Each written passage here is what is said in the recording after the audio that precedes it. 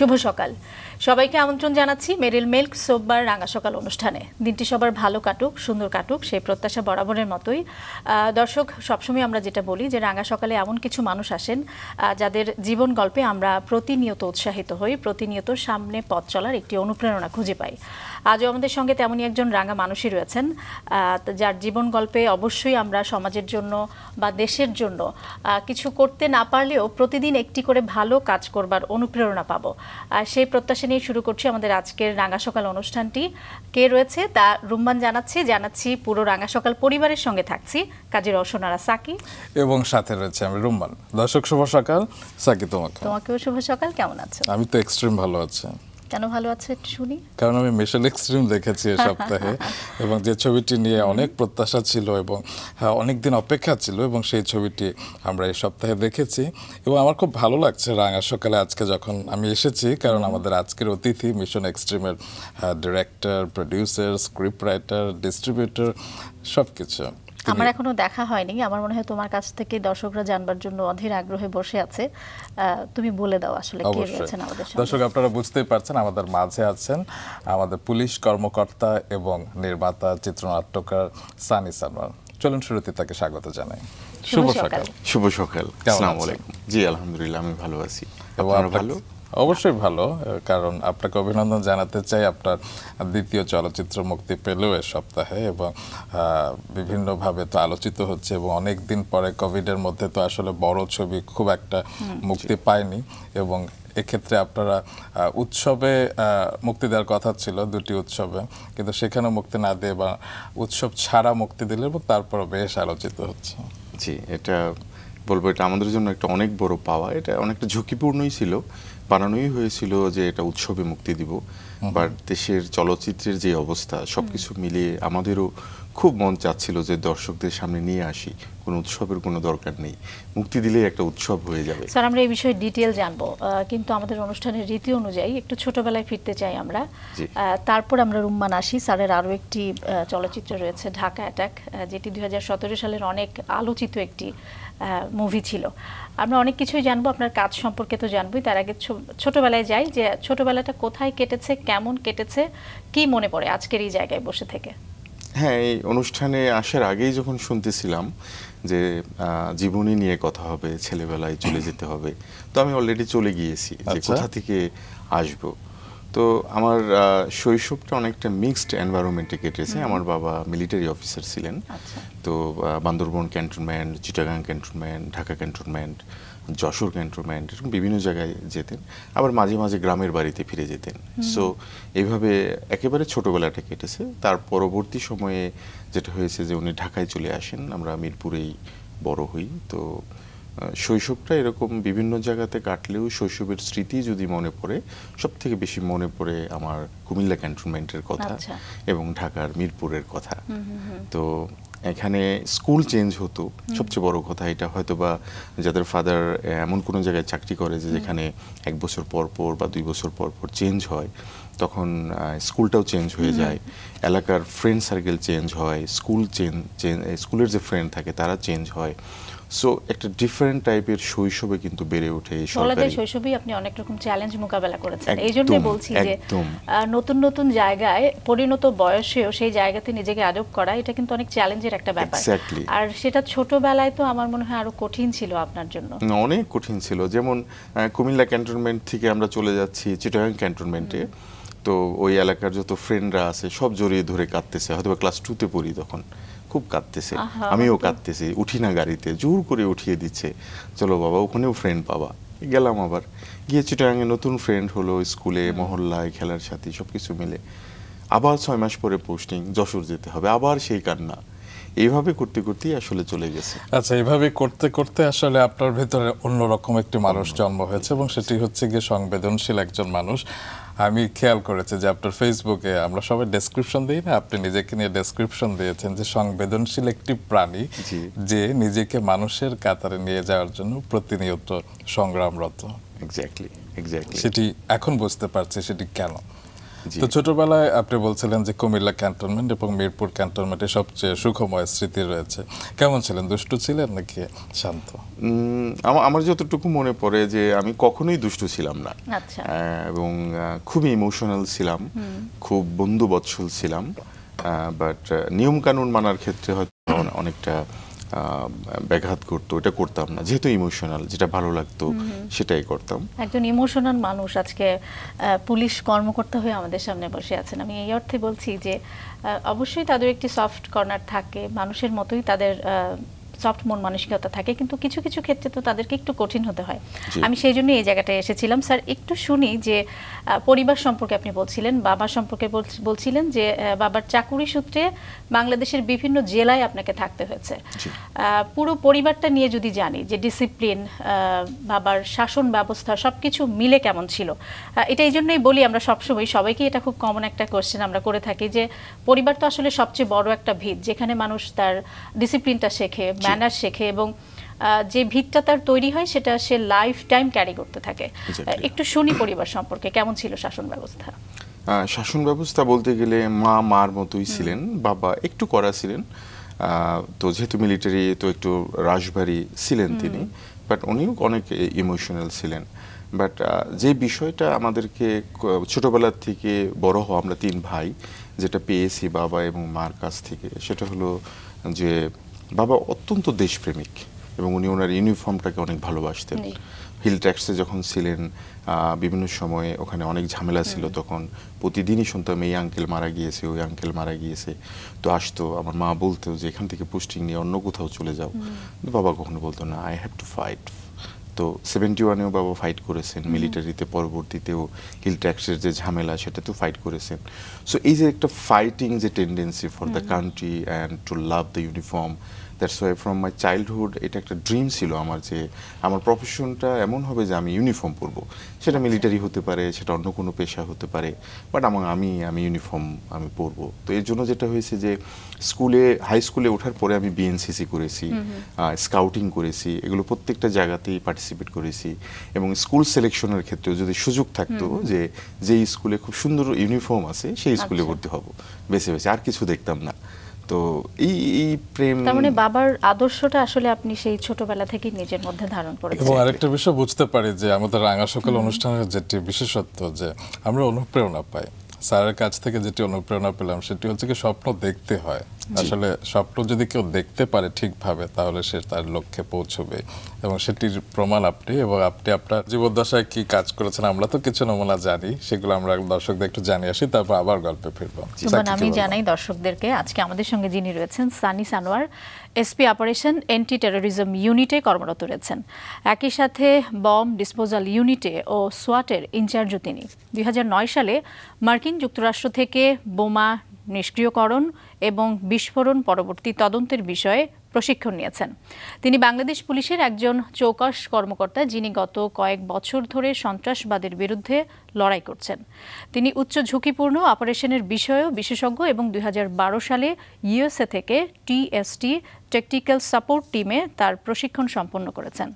এছাড়াও তিনি একজন এফবিআই ন্যাশনাল একাডেমি গ্র্যাজুয়েট এবং এফবিআইএনএ সহযোগী। ঢাকা অ্যাটাক তার প্রথম চলচ্চিত্র।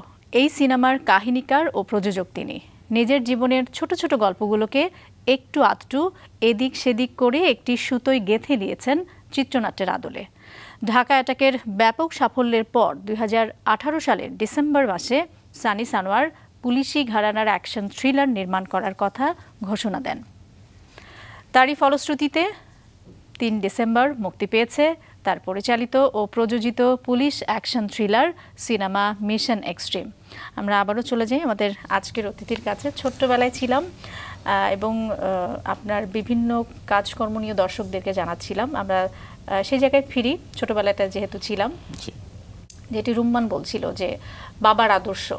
তো কি হলো? আসলে তখন থেকেই কি এরকম কোনো চিন্তা ভাবনা মাথায় আসলো যে আমি আসলে বড় হয়ে দেশের জন্যই কিছু করতে চাই? বা যেটি আপনি বলছিলেন যে বিভিন্ন স্কুলের ইউনিফর্ম যেটি আপনাকে সবসময় আকৃষ্ট করত কি ভাবতেন আসলে? তো আমার কাছে যেটা মনে হতো যে ইউনিফর্মের বাবা আর সিভিল ড্রেসের বাবার মধ্যে একটা পার্থক্য থাকতো। আচ্ছা। তো ইউনিফর্মের বাবাকে আমার খুব ভালো লাগতো। তো তখন থেকে মনে হতো ওই ছোট সময় বাবার ইউনিফর্ম পরে না ওরকম আমরা পড়তাম তখন তার ছবি তোলার মতো এত সুযোগ ছিল না। সো ওই ছবিটা স্মৃতিতেই গেথে আছে যে আচ্ছা। আয়নার সামনে যে দাঁড়াতাম। তো আমার কাছে মনে হতো যে এই পেশাভিত্তিক যে ইউনিফর্মগুলো এগুলো মানুষকে তার মনের একটা অন্য জায়গাতে নিয়ে যায় যেটাতে সে ইউনিফর্ম ছাড়া যেতে পারে না। এবং সেটা হওয়া উচিত আমি মনে করি যেহেতু বাবাকে বা তার সহকর্মীদেরকে দেখেছি অনেক আঙ্কেলকে দেখেছি। তো সেখান থেকে আমার মনে হয়েছে যে ওনাদের আলোচনা থেকে ওনাদের ইউনিফর্ম থেকে যে I want to become like my father or uncle যে আমি একটা ইউনিফর্ম পরবো and I will do something for my country তো সেটাই মূলত উদ্দেশ্য ছিল এবং সেটা করতে করতে দেখা গেলো স্কুলের ইউনিফর্মও ভালো লাগছে আমার বিএনসিসির ইউনিফর্মও ভালো লাগছে স্কাউটিংও ভালো লাগছে। করতে আহ, যখন লেখাপড়া মোটামুটি ইন্টারমিডিয়েট পাস করে ফেললাম এখন আমি সায়েন্স নিয়ে পড়েছি। রসায়ন নিয়ে হ্যাঁ, পরে। অনার্সে যে আচ্ছা। রসায়ন নিয়েছি এমনি তো ছিলই। তো আমি ইউনিভার্সিটি মেডিকেল যেটা হয় ইউজুয়ালি সবাই অনেকেই কোচিং সেন্টারে ভর্তি হচ্ছে গাইড কিনছে ভর্তি পরীক্ষা দেবে বাট আমার ওই ধরনের কোনো প্রিপারেশন ছিল না। আমার আমার একেবারেই টার্গেটই ছিল যে আমি মিলিটারিতে যাব কিংবা আমি অন্য কোনো একটা মানে এই টাইপের কোনো পেশায় যাব। আর ইন্টারমিডিয়েট পাশের পর ইউজুয়ালি মিলিটারিতেই সবাই যায় যেটা আইএসএসবি বলে পরীক্ষা। তো সেটাতে পার্টিসিপেট করি আর এমনি রেজাল্টও ভালো ছিল। তো যাই হোক যে কোনো কারণে হয়নি। মানে এটা একটা স্বপ্নভঙ্গের মতো একটা বিষয় যে মিলিটারিতে হলো না। তো টোটাল ডিজাস্টার লাইফে একেবারেই অন্ধকার নেমে আসলো। কারণ আমি ইউনিভার্সিটি বা মেডিকেল বুয়েট এগুলোর জন্য কোনো লেখাপড়া করিনি। আচ্ছা। আমার এইটাই ছিল টার্গেট যে আমি এখানেই যাব। হ্যাঁ। তো পুরো বাসায় একেবারে শোকের ছায়া। বাবারও স্বপ্ন মার স্বপ্ন আমার স্বপ্ন আচ্ছা। আশেপাশে সকলের স্বপ্ন যে ছেলে মিলিটারি অফিসার হবে বাট হতে পারল না। তো সেকেন্ড টাইম আবার পরীক্ষা দিলাম আবারও পুরো একদম শেষ পর্যন্ত গেলাম বাট হলো না। হয়নি ক্লিক করেনি যে কোনো কারণেই হোক। দেন এই সময়ে কয়েকটা ইউনিভার্সিটির ফর্ম কেনা ছিল। যে ঢাকা ইউনিভার্সিটি বা কৃষি ইউনিভার্সিটি তখন কৃষি ইউনিভার্সিটিতে আমার হয়ে গেল একটা সাবজেক্টে ঢাকা ইউনিভার্সিটিও হলো। দেন সবাই মিলে ডিসিশন নিল কৃষি ইউনিভার্সিটিতে যদি তুমি ভেটেরিনারিতে চান্স পেয়েছিলাম। যেটা পশু ডাক্তার যে এটার প্রসপেক্ট খুব ভালো তুমি খুব ভালো করবা ঢাকা ইউনিভার্সিটিতে ইন জেনারেল পড়ে কি হবে। দেন সেখানে চলে গেলাম। তো চলে যাওয়ার পর যেটা হলো যে মন কোনোভাবেই মানছে না। মানে ইন জেনারেল লেখাপড়ার প্রতি মানছে না। আর এই ডাক্তারি বা এত লেখাপড়া ওগুলোও ভালো লাগছে না। মানে আমার সাথে যাচ্ছে না। তো চলে আসতাম ঢাকায় চলে আসতাম ক্লাস করতাম না থাকতাম না। দেন মাকে বললাম যে মা আমি আর পারছি না। আমার সাথে নিজের সাথে সংগ্রাম করে আমি আর পারছি না। আমার একটু রিলিফ দরকার। বলো আমি কি করব? তখন বলল ঠিক আছে তাহলে একটা ইয়ার ড্রপ দে। তুই ঢাকার আশেপাশে কোথাও ভর্তি হওয়া আপাতত আচ্ছা। তো দেন জাহাঙ্গীরনগর ইউনিভার্সিটিতে ভর্তি হলাম। ওখানে কেমিস্ট্রি এবং ফার্মেসিতে পরীক্ষা দিয়েছিলাম আর কোথাও দিইনি তো কেমিস্ট্রিতে ভর্তি হলাম। দেন লেখাপড়া করতে থাকলাম। তখন স্বপ্নটা একেবারেই যে শেষ হয়ে যায় নাই নতুন করে আবার স্বপ্ন দেখতে শুরু করলাম যে যদি এই লাইনেই লেখাপড়া করি দেন আমার সামনে বিসিএসটা রয়েছে। আচ্ছা। সেখানে পুলিশ নামের একটা পেশা আছে যারা ইউনিফর্ম পরে পঁচিশতম বিসিএসসি আপনি উত্তীর্ণ হলেন আমি যতদূর আমার মনে আছে যে দুই হাজার ছয় সালের একুশ কোনো এক। একুশ অগাস্টে আপনি সেখানে জয়েন করেছিলেন এবং এবছর দুই হাজার একুশ সালের একুশ অগাস্ট আপনি অ্যান্টি টেরোরিজম ইউনিটে আপনার এক বছর পূর্তি হলো। এবং একুশ শব্দটার সাথে আপনার একটা সংযোগ রয়েছে এবং দুই হাজার একুশ সালে আপনাকে আমরা রাঙা সকালে পেয়েছি। আচ্ছা বিসিএস এ যে আপনি উত্তীর্ণ হলেন তারপর কি হলো? তো বিসিএসসি হওয়ার পরে তো এক বছরের মতো পুরোই ঘোরের মধ্যে কেটে গেল। যা হোক তো তারপরে ইউনিফর্ম যখন বানাতে দিলাম ইউনিফর্ম বানাচ্ছে আমার মাপ নিচ্ছে মানে দেন আই ওয়াজ মানে সো এক্সাইটেড অ্যাবাউট দ্যাট যে it's my uniform and I will wear this uniform এবং তখন থেকে একটা ফোরকাস্ট যে আমি এই ট্রেনিংটা খুব আনন্দ নিয়ে করব। অনেক কষ্টকর ট্রেনিং অনেকেই জানে সারদা পুলিশ একাডেমি ট্রেনিংটা অনেক কষ্টকর। বাট অত্যন্ত দরদ দিয়ে এবং অত্যন্ত ভালোবাসা নিয়ে আমি ট্রেনিংটা করি এবং তখন থেকে আমি মনে স্থির করি যে like my father I will do something for my country and for my department চমৎকার। আপনার ক ভাই বোন ছিলেন? আমরা তিন ভাই। আপনার তিন ভাই। অবস্থান? আমি বড়। আচ্ছা। আচ্ছা। তো আপনি যখন আহ, যোগদান করলেন আহ, তখন পরিবারের বাকিদের প্রতিক্রিয়া কি ছিল? আহ, প্রতিক্রিয়াটা সবচেয়ে বেশি বিষয়টা ছিল তারা শুধু আমার দিকে তাকিয়ে থাকতো যে আমার হ্যাপিনেসটা কারণ আমি তো একটা ডিজাস্টারের মধ্যে ছিলাম মেন্টালি যে now I am happy that's why they are happy এবং ডেফিনেটলি তারা প্রাউড ফিল করতো বিকজ আমি ছোটবেলা থেকে স্টুডেন্ট ভালো ছিলাম এলাকার মধ্যে ভালো স্টুডেন্ট হিসেবে রেজাল্ট হতো তার জন্য প্রাউড ফিল করতো। বাট হঠাৎ করে আবার পেশাগত জীবনে একটা ডিজাস্টার চলে আসছিল। যে সেরকম একটা জায়গায় আমি যেতে পারিনি। এটা নিয়ে তাদের একটা মনোকষ্ট ছিল।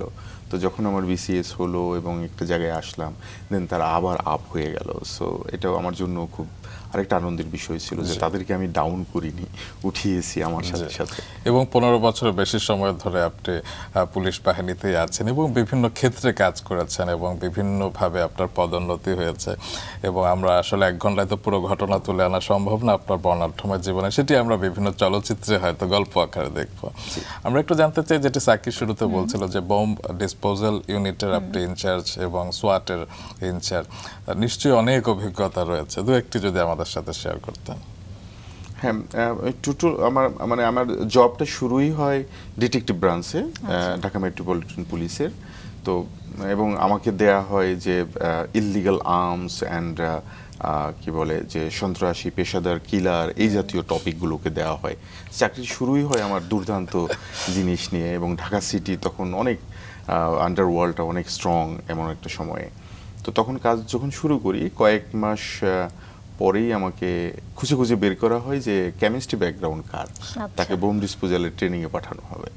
তো দেন অনেকেই যায় না তো আমার আমার নাম যখন আসে আমি রাজি হই যে আই উইল ডু দ্যাট তো যাই হোক সেটা করে আসি। আসার পরে যখন কার্যক্রম শুরু করি তো এটা খুব ভয়ানক এক্সপিরিয়েন্স বেসিক্যালি যে I have training but in real field I have to deal real bomb কেননা ট্রেনিংয়ে অ্যাকচুয়ালি ওরকম কমপ্লিকেটেড কোনো রিয়েল বোম ছিল না যেটা প্র্যাকটিসের জন্য করা। নিষ্ক্রিয়করণ যে ট্রেনিংটা সেটা কি শুরুতেই ইউএসএতে হলো নাকি ইউএসএতেই হলো সেটা আচ্ছা। ইউএসএতেই হয়েছে।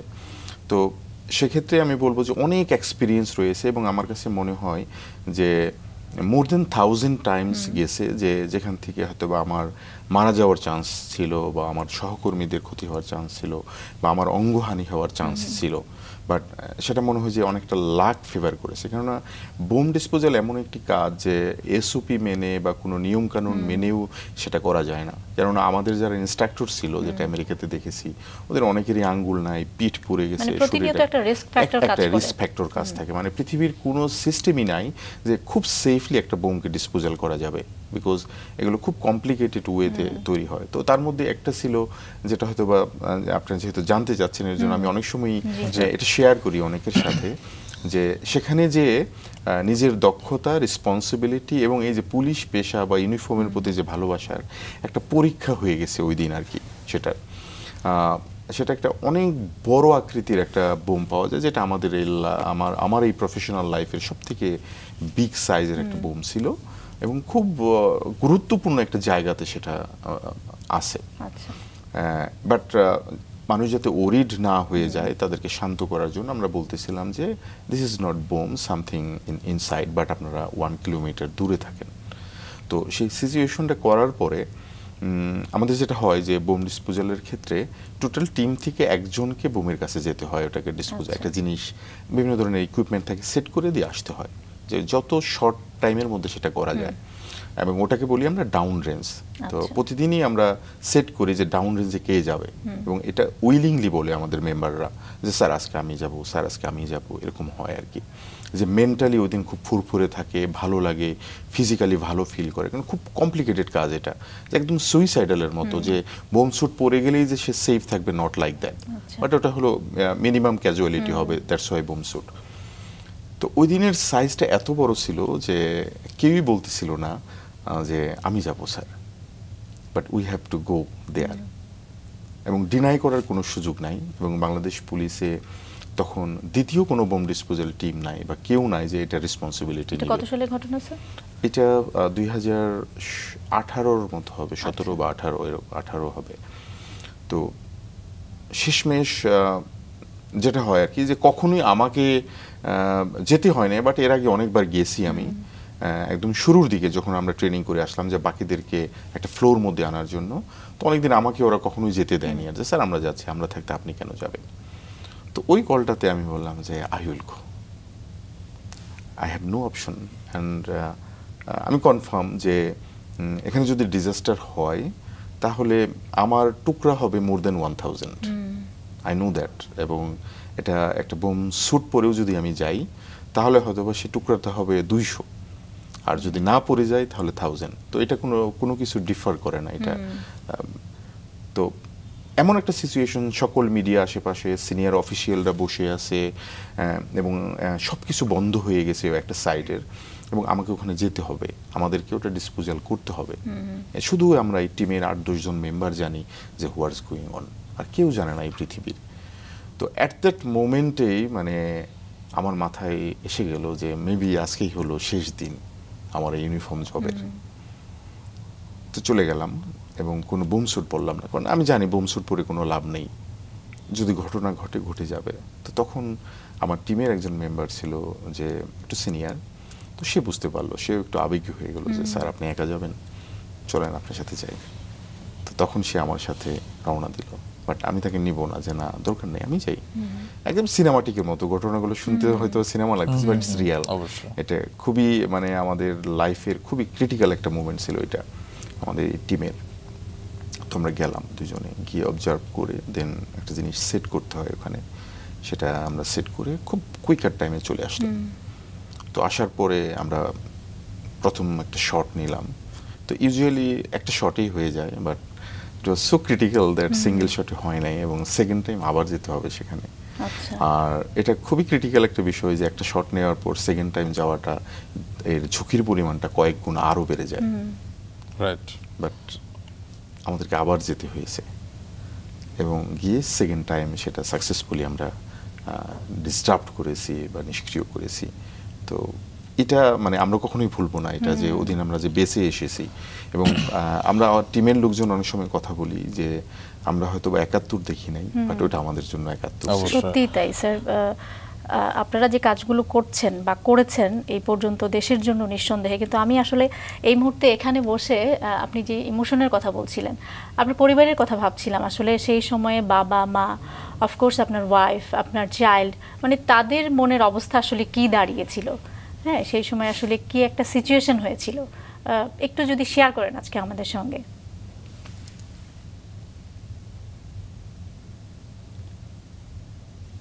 এটা আগে আমরা সবসময় বলি যে আসলে আমাদের দেশের জন্য অনেক বড় একটা প্রাপ্তি।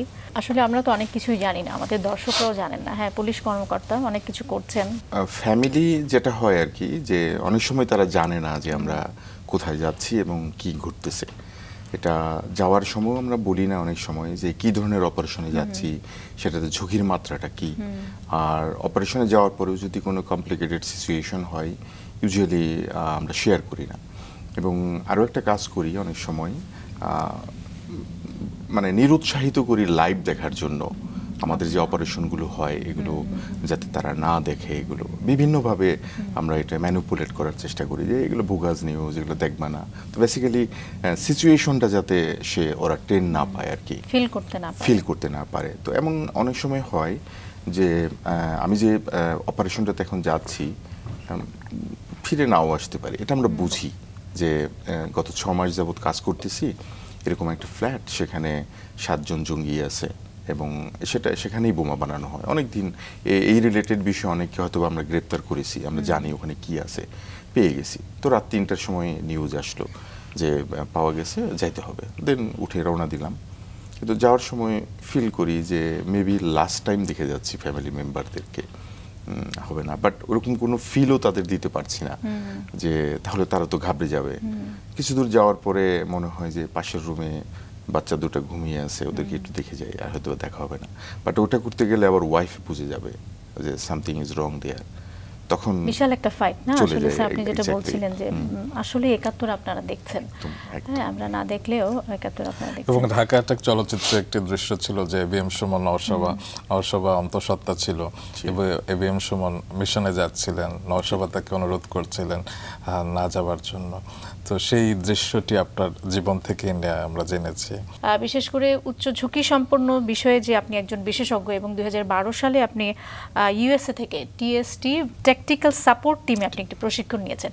টিএসটি যদি আমরা বুঝতে পারিনি আপনার কাছ থেকে জানতে চাই সেই প্রশিক্ষণটা সম্পর্কে প্রশিক্ষণটা অনেকটা হচ্ছে যে হোস্টেজ রেস্কিউর অপারেশন এটা আচ্ছা। কিংবা কোনো একটি স্পেসিফিক লোকেশনে কিছু টেরোরিস্ট রয়েছে তাদেরকে অ্যারেস্ট করতে হবে। টিএসটি কেন বলছি আমরা এটা ট্যাকটিক্যাল এর জন্য আচ্ছা। যে এটা ইউজুয়াল কোনো অপারেশন না team, ট্যাকটিক্যাল সাপোর্ট তো সো পুলিশকে বা কোনো একটা গ্রুপ বা কেউ হয়তো বা ঘেরাও করে রেখেছে but they don't have that capacity to কি বলে যে গো ফরওয়ার্ড তো তখন আমাদেরকে কল করবে যে ট্যাকটিক্যাল সাপোর্টের জন্য। তখন আমরা দেখা গেল আমরা যারা এটা প্রশিক্ষণপ্রাপ্ত আমাদের ইকুইপমেন্টগুলো নিয়ে আমরা যে সেটা করি।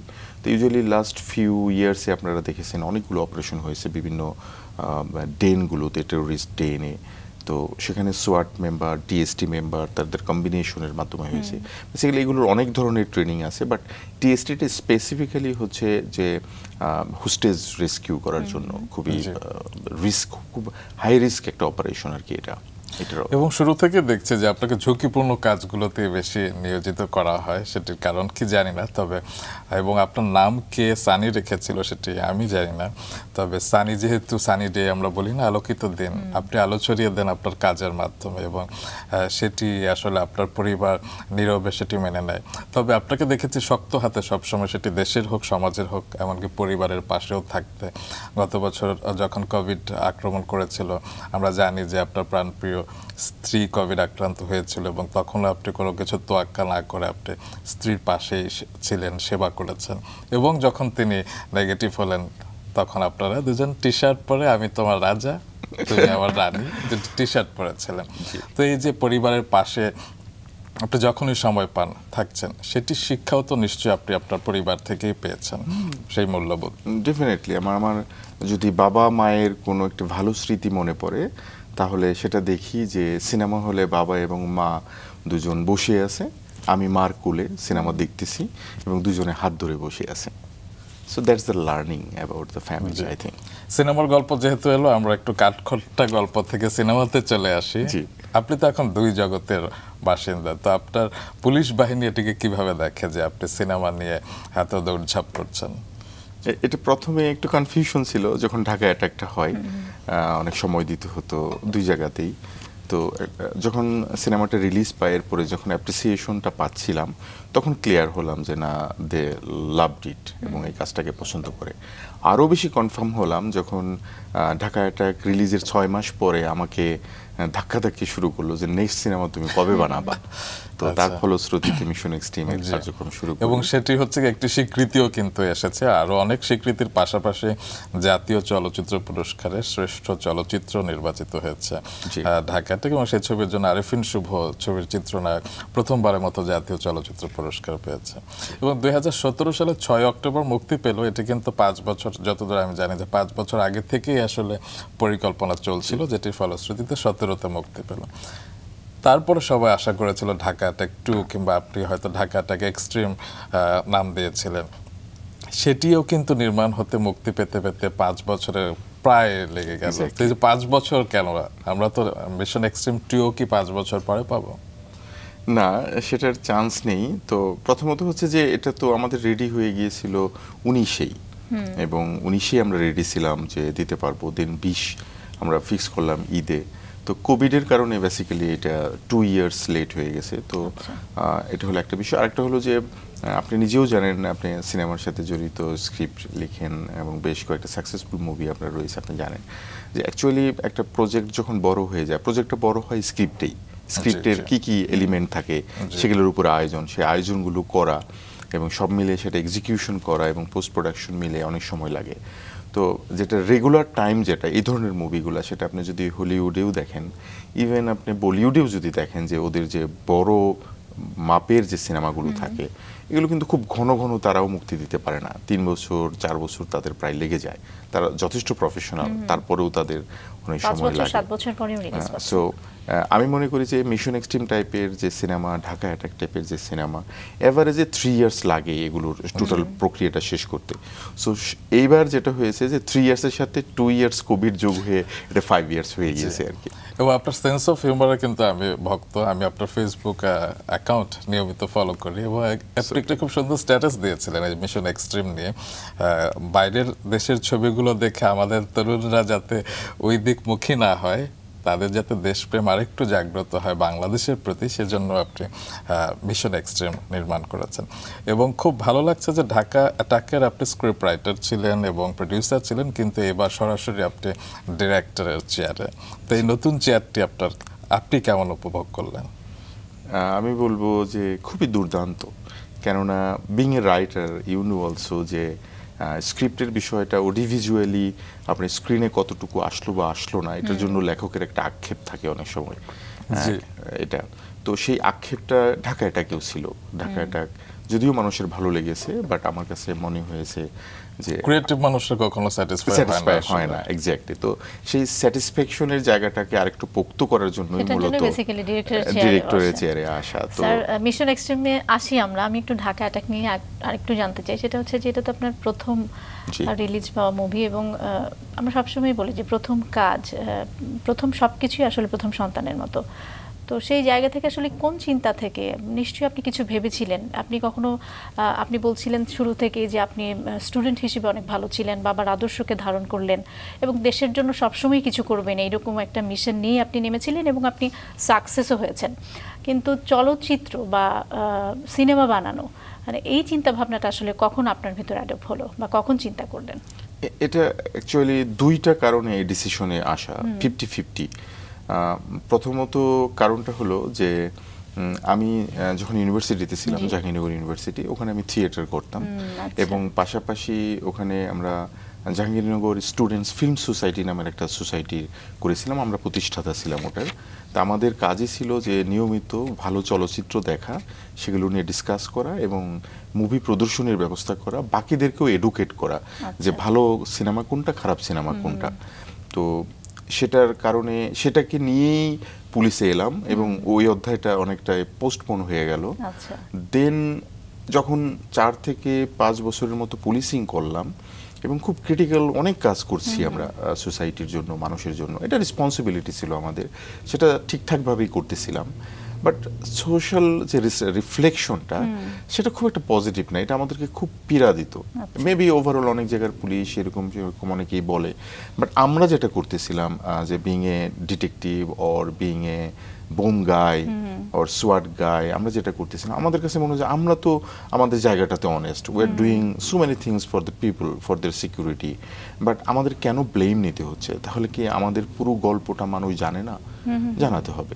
তো সেক্ষেত্রে Dipankar Dipon was my friend সে জাহাঙ্গীরনগর ইউনিভার্সিটির আমার ব্যাচমেট তো আমরা আড্ডার ছলে একদিন এই আলোচনার থেকে ডিসিশনটা নেই যে আমাদের আমরা একটা সিনেমা নির্মাণ করতে পারি। আমার অপারেশনের বা ব্যক্তিগত প্রফেশনাল লাইফের কিছু কথা শুনেই তাদের কাছে মনে হয়েছে যে এগুলো দিয়ে সিনেমা হতে পারে। চমৎকার স্যার। আমরা সত্যি অনেক বেশি অনুপ্রাণিত হচ্ছি এই জন্যে যে আমরা কিন্তু একটা কথা বেশিরভাগ আহ, সবাই বলে থাকি যে ভালো স্টুডেন্টরা সবসময় পড়াশোনাই শুধু করে। বিশেষ করে বিসিএস যারা পড়ে বা বিসিএস যারা দেয় তারা দেখা যায় শুধুমাত্র পড়াশোনা নিয়েই থাকে। কিন্তু আসলে যে শুধু সেটি নয় আপনি সেই ইউনিভার্সিটি থেকে আপনি থিয়েটার করছেন এবং সেখান থেকে এই যে একটি সংস্কৃতির চর্চা করা যায় বা সিনেমাও বানানো যায়, তার একটি উদাহরণ আপনি। রুম্মান কিছু বলতে চাচ্ছিল। ছিল যে এর আগে তো আমরা কোনো আমাদের যে টেরোরিজম ইউনিট রয়েছে তাদের কাউকে তো আসলে পরিচালকের আসনে দেখিনি স্ক্রিপ্ট লিখতেও দেখিনি প্রডিউসিংও দেখিনি। সেটি না হয় আপনি ঢাকা অ্যাটাক থেকে কিছু জ্ঞান আহরণ করে এখন মিশন এক্সট্রিমে সেটি প্রয়োগ করেছেন। কিন্তু এই যে টিকাটুলির মোড় থেকে আপনি পান্থপথের মোড়ে নিয়ে এসেছেন এবং পান্থপথের মোড়ে গানটি আমাদের সানি সানোর লিখেছেন। গান লেখাটা আসলে শিখলেন কীভাবে? আসলে শেখা না ট্রাই করা। আমার আমার কাছে যেটা মনে হয়েছে যেহেতু এখন সিনেমার লোক অনেকটা হয়ে গেছি সিনেমাকে ভালোবাসি। তো আমার কাছে মনে হয়েছে যে টিকাটুলির গানটাতে কি আছে যখন আমরা সিলেক্ট করি। এবং পরবর্তীতেও। এটা একটা সিনেমার গল্প বেসিক্যালি সিনেমা হলের গল্প সিনেমার না। সিনেমা নিয়ে অনেক কথা আছে মানুষের জীবন নিয়ে কথা আছে কিন্তু সিনেমা হল নিয়ে কিন্তু কোনো গান নেই। তো একটা সিনেমার আধুনিকায়ন আজ থেকে তেইশ বছর আগের একজন গীতিকার লিখেছিলেন একজন গায়ক গেয়েছিল যে একটি সিনেমা হলে এয়ার কন্ডিশন হয়েছে। এটা একটা বিশাল ব্যাপার ছিল তেইশ বছর আগে। হলে অনেক হল আছে ফ্যানও নাই তখন এমন। তাহলে আমার কাছে মনে হলো যে এরকম জনপ্রিয় একটা গান সেটা যদি আজকে দুই হাজার একুশ সালে এসে সেই লোকটা লিখতো তাহলে সে কি লিখতো? তাহলে আমাদের এই সিনেমা হলের উন্নয়নটা কি হলো যেটা ওই লেভেলের একটা মানুষকে চমকে দিতে পারে? তো খুঁজে দেখলাম যে থ্রি সিনেমা এটা চশমা দিয়ে দেখতে হয়। সো উই ক্যান ট্রাই এবং এটা প্রমোশনাল একটা সং হিসেবে যেতে পারে আমাদের এটার সাথে যেহেতু আগের গানটার সত্য আমরা নিয়ে নিয়ে সেটা নির্মাণ করেছিলাম ওটা আমাদেরই সত্য রয়েছে। So we can change it we can sequel it or whatever we like তো সেই হিসেবে একটা প্রচেষ্টা করেছি। তো দু একজনকে লিখতে দিয়েছিলাম। তো আমার ঠিক ভালো লাগতেছিল না গল্পটা মানে ওইটার সাথে যায় না আর কি মনে হচ্ছিল। তখন বসে বসে লিখে ফেললাম। বাহ। তো মতিন যে গানটা গেয়েছেন মতিন চৌধুরী উনিও লাইক করলেন। উনি বলে যে গাইতে পারছি আমার সাথে যাচ্ছে এগুলো শব্দগুলো।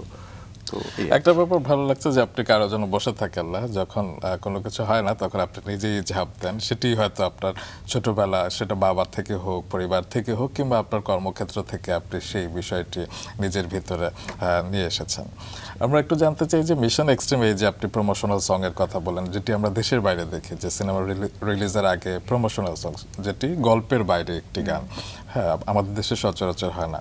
এরকম মিশন এক্সট্রিমে আরও অনেক নতুন নতুন বিষয় যুক্ত হয়েছে, যেমন মিশন এক্সট্রিম রিলিজ হয়েছে, একই সাথে শুধু বাংলাদেশে নয়, বিশ্বের বিভিন্ন দেশে, সেটি ফ্রান্স অস্ট্রেলিয়া আমেরিকা এবং আরেকটি দেশে। নিউজিল্যান্ড নিউজিল্যান্ডে এবং তিনটি মহাদেশে রিলিজ হয়েছে এবং সামনে আরও হচ্ছে। এই যে একসাথে সারা বিশ্বময় আপনার সিনেমাটা ছড়িয়ে দেওয়াটা, আপনার কেমন লাগছে? আমার তো খুবই ভালো লাগছে। আমি তো সব সময় চেষ্টা করি আমি যে সেক্টরেই থাকি না কেন ওই সেক্টরের অপরচুনিটিগুলো কি আছে যে ওপেন করা যায় উইন্ডোগুলো ওপেন করা যায়।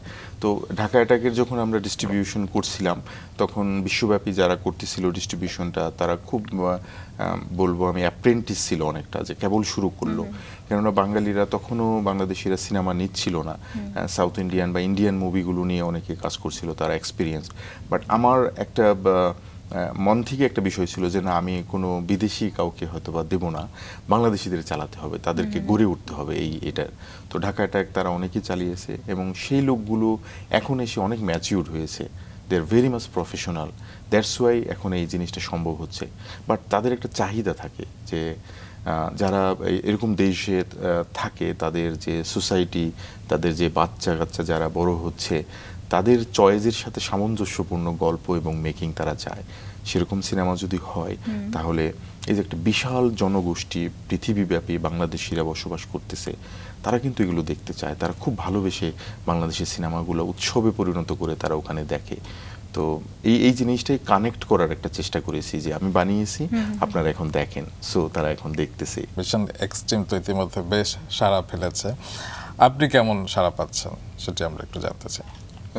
প্রথমত হচ্ছে যে শিল্পের দিক দিয়ে সিনেমাটা কেমন হয়েছে? এটা আসলে একটা চলচ্চিত্র হয়েছে কিনা? এটা একটা সংগ্রামের বিষয় প্রথমে যেহেতু প্রথম ডিরেকশন দিয়েছি।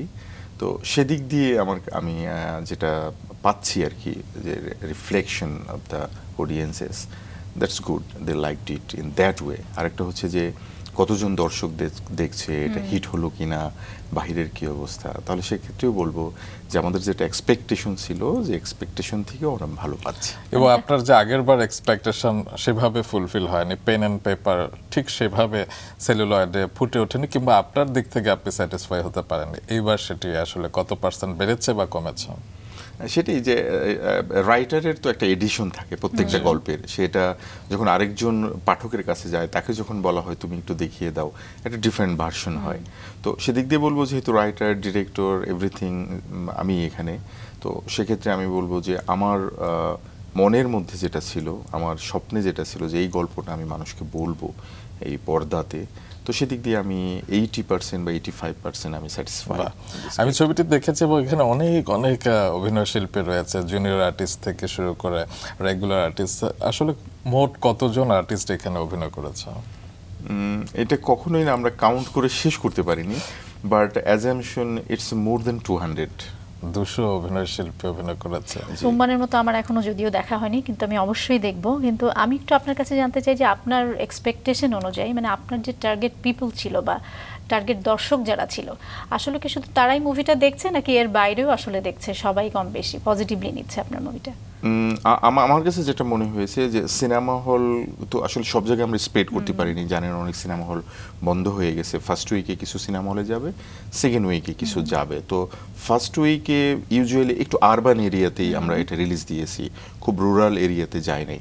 সো আমি বলব যে আমাদের যে টিজি যেটা ছিল টার্গেট গ্রুপ সেটার এক্সপেকটেশন অনুসারে তাদেরই স্রোতটা এখানে বেশি এবং বসবাসও তাদের ওখানেই বেশি। তো সেকেন্ড উইকে গেলে হয়তো বা আমি বুঝতে পারব যে আরেকটু রিমোটে গেলে যে ওই ওই টার্গেট গ্রুপটা কতটুকু লাইক করতেছে বা আসতেছে। বাট আপাতত বলব যে যে আমাদের টার্গেট গ্রুপের যে আমাদের ইয়াটা ছিল সেটা মোটামুটি ফুলফিল এবং they are coming and they are appreciating this project এবং এই চলচ্চিত্রে আরেকটি ব্যাপার দেখেছি একটি গানে আঠাশ লাখ টাকা খরচ হয়েছে যেটি মরুভূমিতে চিত্রায়িত হয়েছে। এবং মরিশন এক্সট্রিম একমাত্র ছবি যেটি হচ্ছে গিয়ে আমাদের দেশে রিলিজের আগে সেটির সিকুয়েল নির্মিত হয়েছে। এবং একই সাথে আপনারা মিশন এক্সট্রিম ওয়ান এবং মিশন এক্সট্রিম টু এর শুটিং করেছেন। তো মিশন এক্সট্রিম ওয়ান তো আমরা দেখে ফেলেছি এবং সাকির মতো যারা এখনও দেখেনি তারা দেখে ফেলবে। তবে মিশন এক্সট্রিম টু আসলে কবে রিলিজ হচ্ছে? মিশন এক্সট্রিম টু অলরেডি দর্শকরা জেনে গেছে যারা এটা ঈদে রিলিজ হচ্ছে সামনের ঈদ উল ফিতরে। আমরা। যেহেতু তৈরি আছে এটা আমরা এটা যে কোনো সময় দিতে পারি বাট আমাদের কাছে মনে হলো যে ফার্স্ট পার্টটা যেহেতু ফেস্টিভ্যালে দিতে আমরা ব্যর্থ হলাম সেকেন্ড পার্টটা একটা ফেস্টিভ্যালে দিয়ে কাজের অভিজ্ঞতা কি শেয়ার করা যায় কিনা আমাদের সঙ্গে? মিশন এক্সট্রিমের বিভিন্ন জায়গায় আপনারা যখন শুটিং স্পটে গেলেন শুটিং করলেন যেহেতু আপনি একজন ডিরেক্টর একটু শেয়ার করতে পারেন আজকে আমাদের সঙ্গে। শুটিং নিয়ে অনেক সময় অনেকেই অনেক কথা বলে যেমন আরিফিন শুভ বলে যে শুটিং কখনো সুখের বিষয় না। এটা খুবই যন্ত্রণাদায়ক একটা বিষয়। সো শুটিং এর বিষয়টা আসলেই শুধু ঝামেলা গ্যাঞ্জাম এই জিনিসগুলাই মাথায় আসে। তো সেই পার্সপেক্টিভে বলব যে আহ, আমাদের এই গল্পে আউটডোর শ্যুটটা অনেক বেশি। যখন একটি সিনেমার গল্পে আউটডোর থাকে যেমন ভাই জানেন বিষয়টা যে এটা অ্যারেঞ্জমেন্ট অনেক জটিল হয়ে যায়। বাট ইনডোর হলে মানে একদিন অনেকগুলো সিন হয়ে যায় কোনো ধরনের ঝামেলা নেই। তো যেহেতু অনেক দিন আমাদের বাইরে শ্যুট করতে হয়েছে তো সেক্ষেত্রে রোদ সূর্য ডুবে যাওয়া বৃষ্টি চলে আসা এরকম নানাবিধ ঝামেলার কারণে দেখা গেল যে আমাদের অনেক প্রবলেম হয়েছে। বিশেষ করে বলব যে আমাদের গাজীপুরের যে জঙ্গল এখানে মোর দেন ফিফটিন ডেজের শুটস হয়েছে ওখানে। আচ্ছা। এবং লাগাতারে ফিফটিন ডেজ ওখানে থাকতে হয়েছে করতে পেরেছেন? পনেরো দিন? টার্গেট ছিল পনেরো দিন টার্গেট ছিল পনেরো দিন বাট ওখানে আরও চার থেকে পাঁচ দিন বেড়ে গিয়েছে বিকজ অফ রেইন তো এই ক্ষেত্রে ওয়েদার ফোরকাস্ট একটা ফ্যাক্টর থাকে আর কি। আসলে শুটিং এ এটা মার্চ মাসে চলে গিয়েছিল দ্যাটস ওয়াই আমাদের এটা প্রবলেম খুব সম্ভবত উনিশ মার্চ শুটিং শুরু হয়েছিল কিংবা বিশ মার্চ। এটা এক বছর আগে শুরু হ্যাঁ এরকম 2019 সালে, রাইট হ্যাঁ হ্যাঁ হ্যাঁ এরকমই শুরু হয়েছিল। তো প্রত্যেকটা দেশেরই কিন্তু শুটিং এর একটা টাইম থাকে সেটা ওয়েদার দেখে ফিক্স করে করতে হয়। সো অনেক সময় হয় কি যে প্রেডিক্ট করা যায় না। এবছর মার্চ মাসে হয়নি তো আগামী মাসে মার্চ মাসে প্রচুর বৃষ্টিপাত হয়ে গেল। তো সব মিলিয়ে আমি বলব যে এ যাবৎকালে আমরা যত ধরনের মুভি বা অ্যারেঞ্জমেন্টের কথা শুনেছি অনেক ডিরেক্টর বা প্রডিউসারের সাথে আমার কথা হয় মানে তার অনেকেই এসেছে আমাদের মিশন এক্সট্রিমের শুটিংয়ে শুটিং দেখতে এসেছে অ্যারেঞ্জমেন্ট দেখতে এসেছে। মানে তাদের কথা যে it's huge basically it was double of other movies because আমরা দুইটা ইউনিট সবসময় কাজ করতো। Unit one and unit two যেখানে একটা মুভির শ্যুট হয় একটা ইউনিট দিয়ে। কারণ আমরা কাভার করতে পারতাম না। কখনো দুই ইউনিট মার্জ হইতো আবার দুই ইউনিট আলাদাভাবে কাজ করতো। আচ্ছা।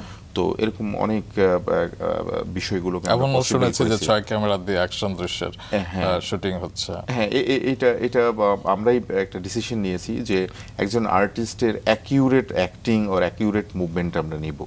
আমরা বারবার করাবো না যে একই আচ্ছা। একই জিনিসটা আবার করবে আবার করবে। তা না করার জন্য আমরা যেটা করেছিলাম যে প্রায় ছয়টা ক্যামেরা আমরা সেট করে দিয়েছিলাম বিভিন্ন জায়গাতে সর্বোচ্চ। কখনো চারটা কখনো তিনটা এটা ডিমান্ড অনুসারে। তো এর ফলে আমরা যে আউটপুটটা তখন পেতাম আমরা খুবই হ্যাপি হতাম যে একবারে আমি ছয়টা অ্যাঙ্গেলের ছয়টা শট আমরা পেয়ে গেছি এবং যখন এডিট প্যানেলে আমরা বসেছিলাম তখন দেখলাম যে এটা মানে আমাদের যে এক্সপেকটেশন ছিল এটা ফিল আপ করেছে। কোনো অ্যাঙ্গেল থেকে কোনো অ্যাঙ্গেলে কন্টিনিউটি কোনো মিস হচ্ছে না এবং দর্শক একটা আলাদা রকমের একটা মজা পাবে। তো সব মিলিয়ে বলব যে ইটস এ অ্যাকশন প্যাক একটা মুভি থ্রিল রয়েছে এখানে। তো এক্ষেত্রে সিনেমাটোগ্রাফি লোকেশন সিলেকশন যেটা দরকার আর কি এটা আমাদের এই সীমিত বাজেটের মধ্যে সর্বোচ্চ যতটুকু করা সম্ভব সেটুকু আমরা শুটিং এর সময় করার তো চেষ্টা ঢাকা করেছি টেক তো জাতীয় চলচ্চিত্র পুরস্কার শ্রেষ্ঠ চলচ্চিত্র হলো তো মিশন এক্সট্রিম নিয়ে আপনার প্রত্যাশা কি আসলে? ঢাকা অ্যাটাকের কথা বললেই মিশন এক্সট্রিমের উত্তরটা চলে আসবে সেটা হচ্ছে যে ঢাকা অ্যাটাক মুক্তির পরে দর্শকদের যেই রকমের উচ্ছ্বাস ছিল যেভাবে মানুষ দেখেছে আমার কাছে মনে হয় যে আমি তখনই দশটা চলচ্চিত্র পুরস্কার পেয়ে গেছি। এবং যখন আমি জাতীয় চলচ্চিত্র পুরস্কারের অ্যানাউন্সমেন্টটা আসলো ডেফিনেটলি আই অ্যাকনোলেজ করি এটাকে আমি একটা বড় পুরস্কার হিসাবে। বাট আমার ফিলটা মনে হয় কি যে আমি না পেয়ে গেছি এই পুরস্কারটা। এটা এটার আমাকে খুব একটা এক্সাইটেড করেনি। তো এক্ষেত্রেও বলব মিশন এক্সট্রিমের ক্ষেত্রেও যদি দর্শক ভালো বলে মানুষ যদি দেখে সেক্ষেত্রে কিন্তু চলচ্চিত্র পুরস্কারের আনন্দ আনন্দটা অনেকটাই মানে মৃয়মান হয়ে যায় আসলে। বাট তারপরেও সেটা একটা অনেক বড় একটা জাতীয় পুরস্কারের। তো আমরা অনুষ্ঠানের একদম শেষ পর্যায়ে চলে এসেছি। আপনার জীবনের গল্পগুলো এক ঘন্টায় তুলে আনা কখনোই সম্ভব নয়। অনেক সফল সফলতার গল্প শুনলাম। আপনার জীবনে নিশ্চয়ই ব্যর্থতাও আছে কোথাও কোথাও। তবে একটি ব্যাপার আপনার কাছ থেকে আমি শিখেছি যে আপনি একবার লিখেছিলেন যে জীবনের ব্যর্থতাগুলো আসলে দাবা খেলার ছোট ছোট গুটির মতো, যেগুলো আসলে সাহায্য করে আমাদেরকে পরবর্তীতে বড় বড় সমস্যা কিংবা বড় বড় যুদ্ধ মোকাবেলা করার জন্য, বা আপনি হয়তো সেটি মেনে থাকেন। জি একদম। মানে এটা আমি সবসময় বলে থাকি যে নিজের জীবনটাই হলো নিজের শিক্ষক। তো এটা যদি একটু ব্যাকে গিয়ে দেখা যায় তাহলে বোঝা যায় যে পরবর্তীতে কি করতে হবে বা নিজের অ্যাটিটিউডের পরিবর্তনের কাটে জীবনের কি কি সমস্যার হয়ে থাকে সেগুলো না করলেই হয় সংশোধন করে করে গেলেই হয়। তো ব্যক্তিগত জীবনের অনেক ব্যর্থতা রয়েছে শুধুই তো সফলতা। ব্যর্থতার ইতিহাস যদি বলি আরও বেশি সময় লাগবে হয়তোবা। তো সেই ব্যর্থতাগুলো হচ্ছে আমার শিক্ষক। সেগুলো আমাকে সফল হতে শিখিয়েছে। সবচেয়ে বড় জিনিসটা যেটা আমার কাছে মনে হয় অ্যাকনলেজমেন্টটা খুব দরকার যে ইয়েস আমি failure yes it's my it's it's wrong এটা আমার ঠিক হয় না এটা আমি পারি না। লাইক দ্যাট অ্যাকনলেজ করলেই সমাধানটা হয়ে যায় এবং মানুষের ডেভেলপমেন্ট হয়। এই বোধটুকুই হয়তো একজন মানুষ হয়ে ওঠার জন্য আসলে সবচেয়ে বেশি দরকার। কারণ শুধু সফল আমি আমার ভেতরে সব ভালো গুণ আছে। এই বিষয়গুলো আসলে মানুষকে হয়তো একটু পিছনে টেনে ফেলে। অনেক অনেক। একদম তাকে কি বলব যে একদম স্থির করে দেয় তাকে। তাকে আর এগোতে দেয় না। পৃথিবী এগিয়ে যাবে মানুষ এগিয়ে যাবে সভ্যতা এগিয়ে যাবে বাট সে আর এগোতে পারবে না। যেটা আমা আমাদের সিনিয়র স্যার একজন একদিন বলেছিলেন আমার খুব ভালো লাগে কথাটা যে একজন মানুষ যখন এভারেস্টের সর্বোচ্চ শৃঙ্খে উঠে যায় তখন তার আর কি করার বাকি থাকে? শুধু নেমে আসা। সো কেউ যদি ডিক্লেয়ার করে যে আমি এখন সর্বোচ্চ শিখরে আছি সে তো আর উঠতে পারবে না। তাকে তখন নেমে আসতে হবে।